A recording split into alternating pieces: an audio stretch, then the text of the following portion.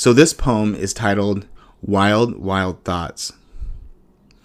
It slowly butchers me to race against no other soul during my long custodial hours with a friendly cylinder bin of trash.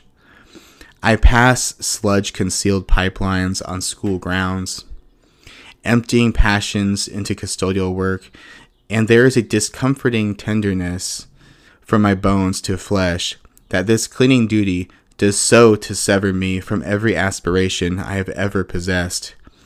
I dream of standing on the hilltops of high end film directing, inspiring Hollywood to be better, and cut loose ends on the art to craft a masterpiece. I dream of creating a story of a Wild West, or even a story of a majesty in a castle.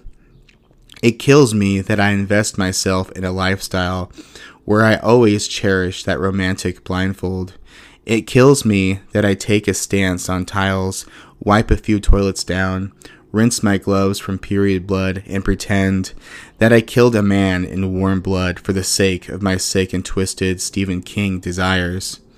I pass by classroom windows at night, flashing every glass with my phone light, pretending that my minimal existence has suddenly evolved into an investigating organism that tops himself off with a detective hat.